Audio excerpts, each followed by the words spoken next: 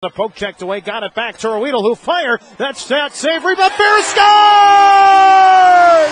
Matt Ferris on the rebound. Left point, and the shot is knocked away there as that one came from Belitis, and that one's knocked away by the hurt. Here they come. Lindblad across the line with Zarbo. Zarbo left side, shot scores!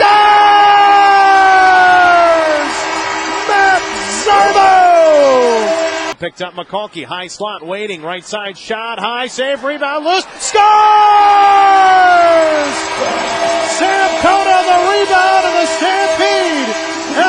A 3 nothing lead. As they'll just take the draw here and try and end the game, and that'll do it.